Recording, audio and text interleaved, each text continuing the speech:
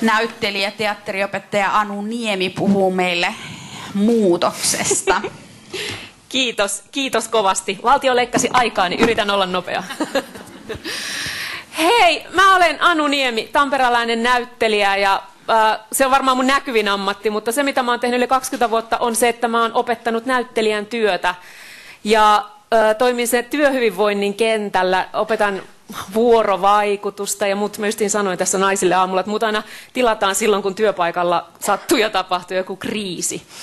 Äh, mä oon puhumassa teille peloista koska nyt kaksi hienoa avustajaa, a, a, alustajaa.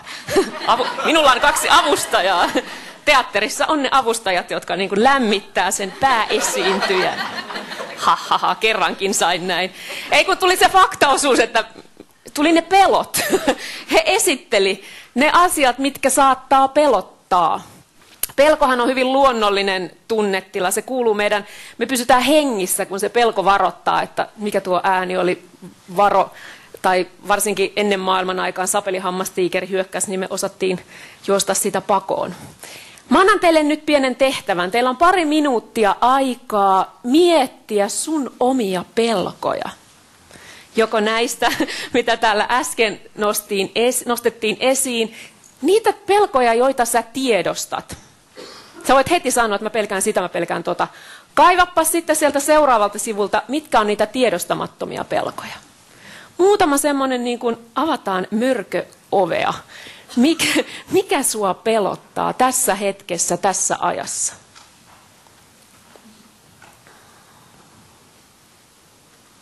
Mä pyydän teistä kohta muutamaa, nappaan sieltä muutaman keskustelemaan mun kanssa tänne sun omista peloista. Joko niistä, jotka on ihan tässä tai siellä alempana olevissa. Mutta mä päätän, ei mitään hätää, ei, ei, ei tarvi ajatella, että mä päätän ihan. Ää, kuinka moni teistä tulisi mielellään? Nostakaa käsi, joka haluaisi tulla tänne juttelemaan mun kanssa peloista. Jaakko tietysti. Jaakko sanoi, että puhe ei lopu. Tiedän, tunnistan saman ihmistyypin, tunnistan temperamentin, kotoisa. Kuka ei missään nimessä tulisi tänne? Mm, olkaapa rehellisiä. Kuinka moni? Aika moni varmaan. Tämä oli, tämä oli ihmiskoe. Tämä oli, tämä oli epäinhimillinen ihmiskoe. Kukaan ei joudu tänne. Se olisi, se olisi väärin, se olisi oikeasti, mutta skannaappa pieni hetki, mitä sun elimistössä tapahtui, kun mä sanoin, että mä nappaan teistä jonkun.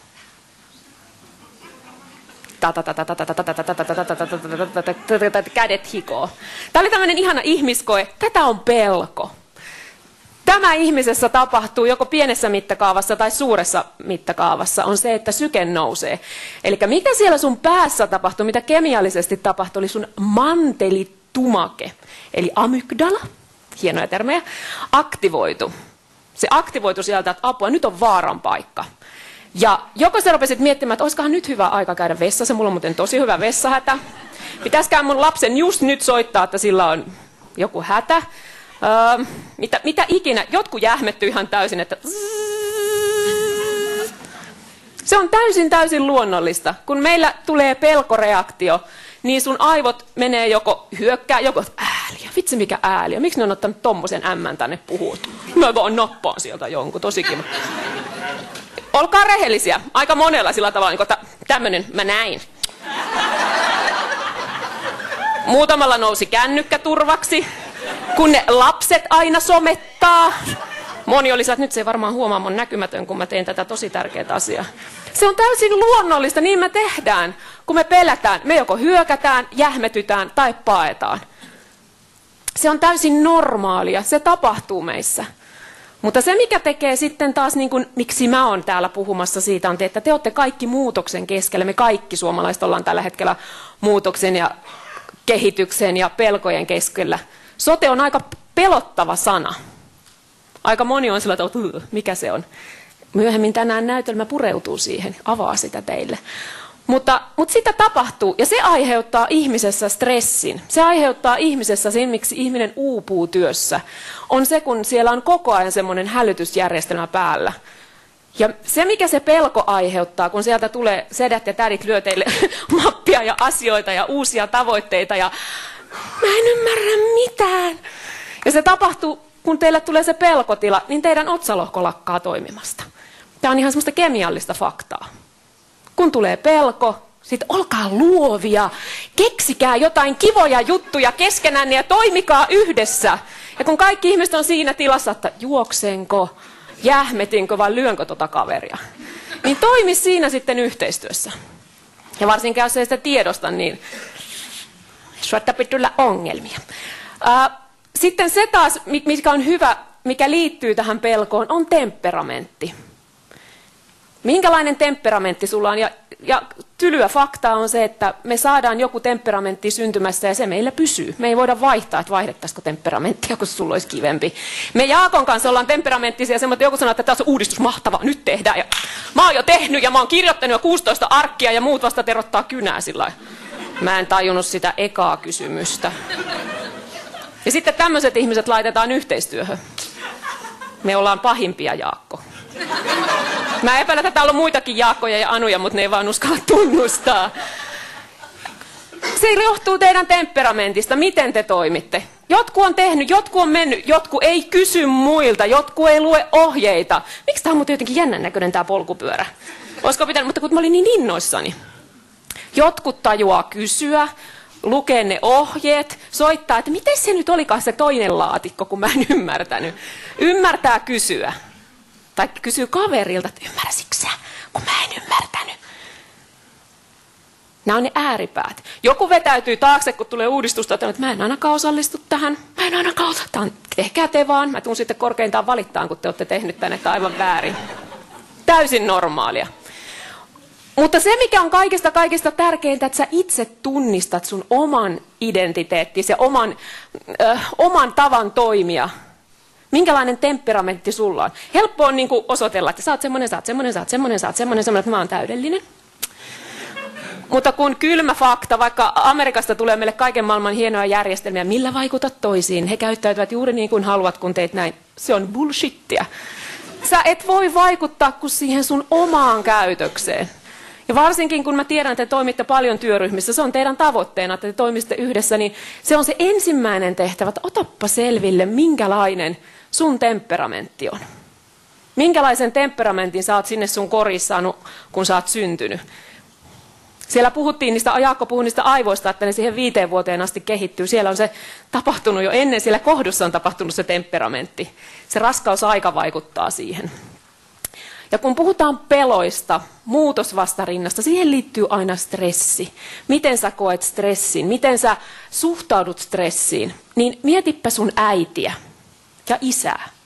Tai niitä aikuisten mallia, naisen miehen mallia, jotka on ollut sun läheisiä, varsinkin siellä viiden ensimmäisen vuoden jälkeen ja sen jälkeenkin, että miten se isä, sun isä on suhtautunut muutoksiin, pelkoihin, uudistuksiin, Miten sun äiti on suhtautunut uudistuksiin, pelkoihin, muutoksiin. Ne on se malli, minkä sä oot oppinut. Sekin on aika tyly fakta. Mutta se on ihanaa, kun sä katot sillä tavalla, että ai niin mun äiti oli semmoinen, isä ei vaihtanut koskaan hammastaan merkkiä eikä mitään. Äiti vaihtoi kerran vessapaperimerkkiä ja siitä syntyi meillä kriisi. Niin sä oot perinnyt sen toim- sä oot kopioinut sen toimintamallin. Eli jos sä haluat vähänkin kehittyä tässä elämässä tai saada työväline tähän kaiken kriisin ja muutoksen ja sotelape trrr, keskelle, niin kannattaa pikkusen pysähtyä, että hetkinen. Mun äiti oli semmoinen, mun isä oli semmoinen. Ja kannattaa miettiä, että onko mä se nopea, joka tarttuu heti toimeen, kuuntelematta välttämättä edes muita. Vai onko mä se, että nyt kimpassa? Vai onko mä se vetäytyjä? Antaa muiden tehdä. Mutta, mutta se, se on nimittäin e- ehdottomasti tärkeää, että sä tunnistat oman. Koska sen jälkeen, kun sä opit tunnistamaan oman temperamentissa, oman tavan toimia, niin sitten rupeat näkemään siitä sun tiimistä, että ai niin, ai niin, kun toi tarvii aikaa, toi on mennyt jo, se pitää tuoda takaisin, että hei, tämä on täällä. Ja sitten mikä on kaikista ihaninta, että tota, näistä temperamenteista mikä on parempi kuin toinen koska niitä, meitä kaikkia tarvitaan. Jos kaikki olisi tämmöisiä meikäläisen tapaisia, niin voi hyvää päivää. Oh. Siellä tarvii sen järjen äänen, siellä tarvii sen kyseenalaista, siellä tarvii niin kuin, jokaista roolia tarvitaan näytelmässä. Mutta se vaatii sulta itseltä sen työn, että sä tiedät, että mä oon nopea, mä meen jo. Mä en pysty, mä en pysty muuttamaan sitä, sitä, mikä mulla on syntymästään lähtien annettu. Mä en pysty omaa temperamenttia muuttamaan, mutta mä pystyn muuttamaan mun käytöstä. Mä vaan, ai hetkinen, mäpäs odotankin, että toi Maijakin saa sanoa jotain. Minä hölösuuna nopeena, kun mä tunnistan sen, mä oon hetken aikaa hiljaa ja annan niille ihmisille aikaa, jotka tarvii enemmän aikaa omaksua, ottaa sitä tietoa haltuun. Tai jos mä oon se aina, joka on viimeisenä, että en mä kyllä uskalla sanoa, mulla olisi tosi monta hyvää ideaa, mutta jos, jos mä oonkin jotenkin huono, niin, niin niille taas mä sanon, että kannattaisi joskus sanoa heti. Että kun sä tiedät, mihin ääripäähän, mihin sä siellä kentällä kuulut, niin vähän aina treenata niitä lihaksia, jotka on niin kuin sulle ei, ei tuttuja. Mä kuulen kauhean usein sitä, niin kun puhutaan pelosta, mä kuulen kauhean usein sitä, että sä et varmaan Anu pelkää mitään, että kun sä oot näyttelijä ja sä oot ollut esillä ja esiintynyt ja sä oot perustanut yrityksen ja aina, niin kuin, sä oot aina niin kuin, aloittanut alusta ja rohkeasti hyppinyt elämästä, niin kuin elämästä toiseen tietyllä tavalla. Olen vaihtanut elämää.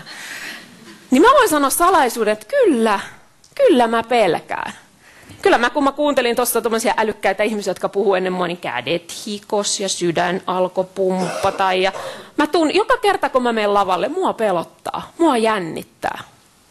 Mä pelkään paljon asioita, jännitän paljon asioita, mutta mä oon oppinut sen, että samalla tavalla kuin pelko ruokkii pelkoa, mitä enemmän sä pelkäät, sun aivot, ne kehittyy sen viiden vuoden jälkeenkin, ne alkaa tehdä niitä pelko, vain pelkoskenaarioita. Meidän mielikuvitus on mahtava kaveri kun sä rupeat oikein kehittelemään, että kuinka huonosti tässä voisi käydäkään, niin ei jätä yksin. Ei todella jätä. Kyllä tulee nimittäin. Niitä riittää sitten, niin että kuinka huonosti tässä voi käydä. Mutta rohkeus on samalla tavalla. Se on myös lihas. Että me näyttelijät, mä tunnistan sen, että hetkinen mun syke nousee, mutta mä käytän sen hyväkseni. Koska se on myös, meidän elimistö on viisas, se aktivoi sitä sympaattista hermostoa. Pelko saa meidät toimimaan, jos ei se lamaannuta. Mutta se saa yleensä meidät toimimaan ja se on myös semmoinen promoottori, sä saat asioita tekemään, mutta sun täytyy taas tiedostaa se, että mä, mä, mä lähden kotiin pelottaa. En, en sano mitään, antaa tyttöjen poikien tehdä ja sitten tunni valita. mutta se, että sä tunnistat, sä tunnistat sen pelon ja ajattelet, että ei kun mä, mä käytän tämän hyväksi. Mä aina sanon tuolla koulutuksessa, treenaa sun rohkeuslihaksia – ja rohkeuslihaksia treenataan sillä tavalla, että oli se sitten kuinka pieni asia, mistä sä onnistut elämässäsi. Sä oot vähän rohkeampi, sä muutat pikkusen sitä sun perusrutiinia ja se onnistuu. Pysähdy siihen hetkeen. Pysähdy siihen hetkeen ja ajattele, että vitsi mä olen muuten rohkea ja mä onnistuin. Vaikka se olisi se vessapaperimerkin vaihtaminen. Miehillä automerkin vaihtaminen. Uh. ja jos se onnistuu, niin sehän on ihan mieletöntä puoliso. No niin, hei. Mutta se, että jos on joku rohkea teko, esimerkiksi työpaikan vaihtaminen, sehän on tosi pelottavaa. Ihmisen kolme stressaavinta asiaa on nimenomaan läheisen kuolema, ää, avioero ja sitten se työpaikan menettäminen tai se muutosrallianssi, missä voi olla. Ja ne vaatii rohkeutta semmoisista asioista selviäminen. Olen selvinnyt kahdesta niistä, kol- no kolmesta. Mutta se vaatii sitä, että sä et lamaannu. Että sä ymmärrät, miten sun elimistö toimii. Että se on kemiallinen reaktio, mitä ihmisessä tapahtuu. Ja se on suojamekanismi. Ja se on, se on suojamekanismi, joka on auttanut siellä metsässä ja viidakossa meitä selviämään. Mutta se on vähän kääntynyt tässä, kun me ollaan tämmöistä kaikki hyvin, eletään pullassa. niin se on kääntynyt sitten meidän vitsaukset, ja se on sitten se stressi. Se pelkotila jää meidän kehoon päälle. Se sympaattinen hermosto on turhan aktiivinen, ja se autonominen hermosto on semmoisessa juoksessa pelihammastiikeriä pakoon. Mutta se oli se toinen luennon aihe, miten jaksat työssä. Siihen mä en mene, mä yritän pysyä nyt ajassa. Joo. No mutta tota, lisää, lisää teille työvälineitä muuta kuin, että, että sen, sen oman itsen tunteminen ja miten mä toimin ryhmässä. Ja mitkä aiheuttaa sitä pelkovastarintaa, mitkä aiheuttaa sitä, että mä en halua lähteä tuommoisiin uudistukseen mukaan. Tämä on ihan huono juttu, että mä en lähde. Niin ensimmäinen asia on tiedon puute. Tämmöiset tilaisuudet on kultaakin kalleimpia, koska te saatte tietoa, te saatte faktaa sieltä niin kuin pääkallopaikalta, mitä se ihan oikeasti tarkoittaa, mitä ne miljardit, mitä ne tarkoittaa. Ne on isoja asioita, mutta mitä enemmän te saatte tietoa asiasta, sitä vähemmän te pelkaatte. Sehän on hyvin luonnollista, ihminen heitettäisiin niin hiekka-autiomaalle keskelle ilman karttaa. No niin, pärjääpä. Mutta kun te saatte kartan käteen, joku sanoo, että tohon suuntaan lähdetään ja sanotaan vielä, että näiden tyyppien kanssa lähdet tohon suuntaan, niin johan se pelko pikkusen, pikkusen, pikkusen laantuu. Yksi, yksi asia, mitä tapahtuu, mikä liittyy pelkovastarintaan, on laiskuus. Se on meissä kaikissa ihmisissä. Kun tulee muutos, joko sun sisältä tai ulkopuolelta riippuva muutos, niin mä en kyllä jaksa. Mä en jaksa ottaa selvää, mä en jaksa opetella taas tietokoneella jotain uutta juttua, mä en jaksa tutustua uusiin ihmisiin ja mä en jaksa. Mutta se, kun sä tunnistat itsestä, että mä en jaksa, mä haluan vaan mennä näillä tutuilla puheilla, samoilla puheilla, niin se on myös hyvä merkki sun, että sä taidat pelätä. Siellä on pieni pelko. Ja monta kertaa seuraava askel siitä on se, että ihminen pelkää mokaavansa. Ihminen pelkää, että mä en pärjääkään. Joku tulee ja vie mun työn. Joku tekeekin sen paremmin. Mä oon liian vanha oppimaan uutta. Mä oon liian kokematon oppimaan uutta. Ja nämä on kaikki ihan luonnollisia. Meillä kaikilla tapahtuu se. Ja taas, ei ole mitään hätää, kun sä tunnistat. Naha, no sieltä tuli se laiskuusmörkö tai sieltä tuli se riittämättömyysmörkö. Aina kun sä tunnistat, sä voit tehdä sille asialle jotain. Peloilla on vaan semmoinen hassu tapa, että ne menee helposti tuonne niin tiedostamattomalle puolelle ja sitten meistä tulee vihaisia ja äyksenteleviä. Me ollaan, me ollaan aika inhottavia, kun se pelko menee tonne, tonne taakse, että me ei enää sitä tiedosteta. Siksi nostakaa se tähän. Onko mä jättänyt jotain pois? Uh, en. Uh, mutta voisi miettiä vielä sitä pelkoa. Pelkoa on myös kahdenlaista se pelko voi olla nimenomaan, että se tapahtuu sun ulkopuolella, tai se, se muutos tapahtuu sun ulkopuolella. Että sä et voi vaikuttaa siihen. Ja se on yleensä se semmoinen, haa, ja siihen auttaa se, ota selville, mitä tietoa sulla on. Ota selville, miten, mun, miten mä käyttäydyn yleensä stressissä, pelkotilanteessa, vetäydynkö, hyökkäänkö. En kyllä, en kyllä leikin noitten kanssa. Ö, yleensä kun me pelätään, tai meidän elämässä tapahtuu isoja muutoksia, me muutetaan, muututaan neljävuotiaiksi. Se on kiva juttu. Ja se, liit, se on nimenomaan tämä aivohomma, kun tulee vähänkin työpaikalla, sitten, oli se stressi mikä tahansa tai pelko, niin on, mä, mä pidän niitä hyvin samankaltaisena asiana, koska se kemiallinen efekti, mitä sun aivossa tapahtuu, on stressissä ja pelossa lähes identtiset. Stressi vaan lähtee kuluttaa sun siellä, koska siellä on jatkuvasti niin kuin adrenaliinia ja kortisolia ja kaikkea tämmöistä kivaa hormonia sun elimistössä, niin se alkaa nostaa sun verenpainetta ja tulee sokeritautia ja sydänvikoja. Kuulostaako tutulta meille suomalaisille? Stressistä johtuvia. Ja siitä, että se meidän autonominen hermosto on yliaktiivinen koko ajan. Ja nimenomaan se, kun sä et voi sille muutokselle mitään. No mikä siinä auttaa? Sopeu sopeutua. Sä et voi taistella vastaan. Kun sä taistelet sitä muutosta vastaan, niin sä taistelet itseäsi vastaan. Mitä nopeammin sä sopeudut tietyllä tavalla, otat selvää. Jos sä oot se, joka tarvii sitä aikaa, niin ota sitä aikaa. Kouluttaudu, tuu tämmöisiin tilaisuuteen kuuntelemaan. Ja sitten mun ja Jaakon kaltaiset vois istua hetkeksi paikalle ja miettiä, että muutkin ehtii mukaan. Taas, että mi- miten sä toimit. Yritän katsoa, että me ehditään. Mm, Eli tiivistän nopeasti, että mä annan teille sellaisia työkaluja, miten te selviätte tämän kaiken kriisin ja pelottavien asioiden keskeltä. Mieti vähän, minkälainen sinä olet. Minkälainen sun persoona on, miten sä toimit ryhmässä. Ja jos sä, jos sä huomaat, että sä oot yleensä se, joka sanoo, ei, ei tuo onnistu, ei, ei, en lähde, ei, ei, ei, niin kysy itseltäsi, mitä mä pelkään. Epäonnistumista, riittämättömyyttä, eikö mua kuunnella. Se on yleensä merkki siitä, että su, sä pelkäät. Tai jos sun työryhmässä lähellä, perheessä, harrastuksessa on ihminen, joka sanoo aina ei, ei, ei, ei, sille ei käy mikään, niin mieti, mitä se ihminen pelkää. Millä tavalla sä voisit luoda sille turvallisemman ilmapiirin, että se ei olisi hyökkäävä, koska kysymys on peloista. Harva ihminen on ihan vaan luonnostaan ilkeä tai hankala, sillä taustalla on aika usein se pelko tai riittämättömyys. Mutta ettei tämä menisi pelkäksi löpinäksi, koska mä olen myös joogaopettaja, joogaohjaaja. niin mä haluan antaa teille pienen, jos mä aluksi heitin teidät sinne kylmään veteen, ikävästi aktivoin teidän sitä maantelitumaketta, niin mä haluan rauhoittaa teidän autonomisen hermoston. Ottakaa hyvä istuma-asento, jalkapohjat maahan, työntäkää takapuoli sinne ihan sillä tavalla, että saat ristiluun täältä ja saat selän mahdollisimman suoraksi. hartiat rennoksi. Anna rintakehän aueta, vatsan aueta, sulje silmät. Kaikki on silmät kiinni, niin kukaan ei kurki. Voit rauhassa olla siellä. Vie huomio sun hengitykseen.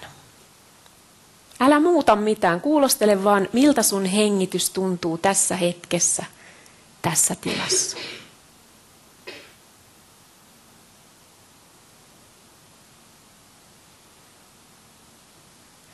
Anna pikkuhiljaa hengityksen rauhoittua. Ajattele, että sisähengitys onkin vähän pidempi. Pidennä sitä pikkusen ja ulos hengitystä myös.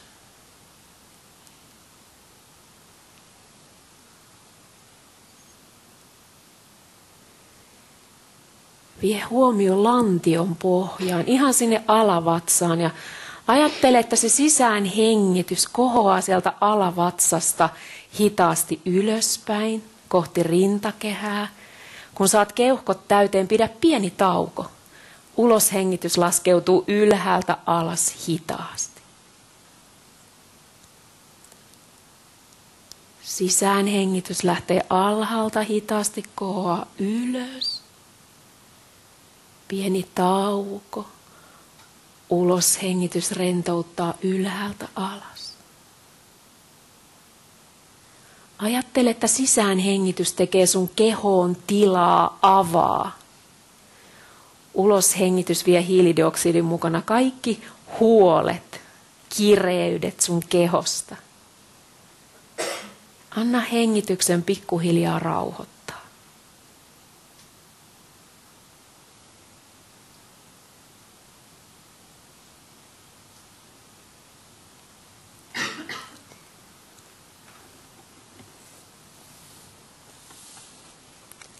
Rakkaus karkoittaa pelon.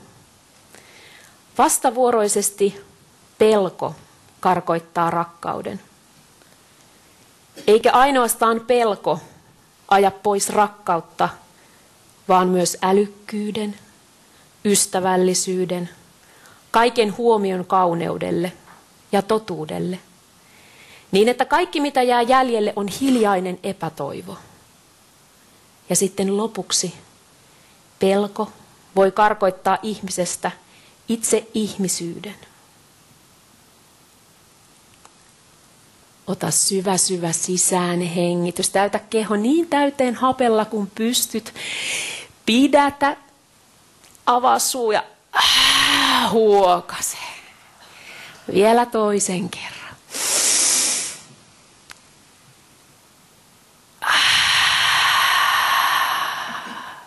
Hyvä. Avaa pikkuhiljaa silmät. Voit liikutella sormia ja varpaita. Tässä on yksi hyvin edullinen, ei-kemiallinen työväline vaikuttaa sun autonomiseen hermostoon. Hengitys. Jos me oltaisiin mitattu teiltä syke ja verenpaine, niin mä voin sanoa, että ihan kaikilla putos. Niin on pieniä ne keinot, miten te selviätte siellä, siellä soten, sota-tantereella Huolehtikaa itsestänne. Tämä lainaus, minkä mä luin, oli Aldous Huxleyin, ei ollut minun käsialaani. Nyt kun te olette sellaisessa hyvässä, rauhallisessa muudissa ja teidän autonominen hervosto on rauhoittunut, niin menkääs piristää itseänne kahvilla. Nähdään myöhemmin. Kiitos. Jos on kysyttävää, niin minäkin olen täällä.